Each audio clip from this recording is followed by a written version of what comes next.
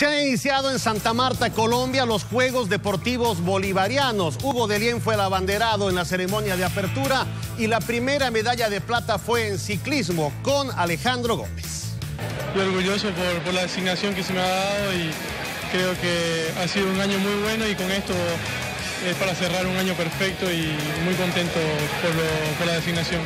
Motivación de, hacer las cosas bien, de demostrar y por qué me, designaron el ser abanderado de, la delegación. Veníamos por esto, teníamos una buena temporada todo, este 2017, la última carrera del año, me lo he preparado conscientemente, con grandes esfuerzos.